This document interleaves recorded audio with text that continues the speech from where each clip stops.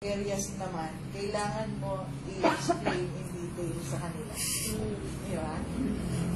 Oh, ang ang mga nasa technical, mabilis nilang makuha. Now, on the other side naman, pagdating mo sa mga people development, kami naman ang medyo binibig, kinukups nila ng gusto. Well, there's a big issue in psychology now that um, uh, we just like to ask if nowadays are companies more open to hiring applicants for graduates of other courses in the HR department? Yes. Pero, ah, there are also other functions na kailangan ng psychologists. Para bang, for every function, commercial man yan, finance man yan, or sales man yan, you need somebody na merong HR or psychology background. Kasi parang in each function, there should be an HR. So, hindi ka lang talaga, don't limit yourself in the future to what HR. Uh, How does homosexuality and other possible personal issues affect one's employment? No, no effect. at We we don't practice uh, practice uh, uh, discrimination. Actually, yung sa, for our mother company, they are so open doon sa walang discrimination. Diversity.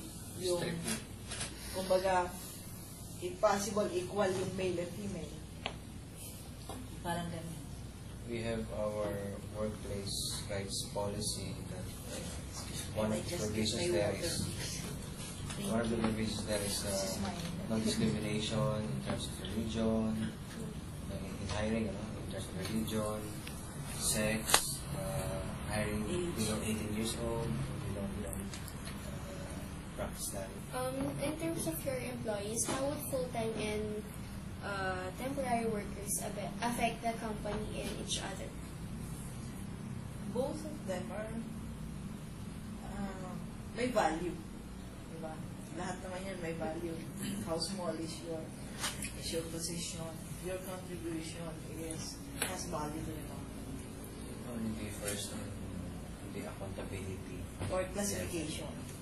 Classification of employees. syempre, when you're on a temporary status, uh, the manager or the supervisor cannot give uh, work to a temporary employee uh, job that has uh, accountability. So would you really prefer uh, regular employees than temporary? Well, yes. Actually, define Though we, natin yung ano. though we need din naman yung mga temporary. no? For core, For ano, as a reliever, because you cannot avoid that there are times yung regular will be out, like they will be on maternity leave, di ba? And of course, during times na peak, hindi naman mas, uh, almost every month ay nasa peak month ang ano. So you, you need an, a temporary worker to do yung additional work or extended hours. Kasi isa rin na pinopromote namin is all employees should have a vacation. At least a break. Okay, since you have established your name in the field, um, what advice can you give to us students on how we, we can be like you? Very important is your passion. Kung yung passion mo dun sa gagawin mo. Maski ano pa man yan, pag may passion ka, I'm sure it will be successful. Yun. And focus. Focus, then um, dedication. dedication. And don't stop learning. If you need some training to enhance your skills and competencies, do it. Don't love wait. your work, love your job, imbibe ano, know, know everything by heart. Kasi that's where you will grow.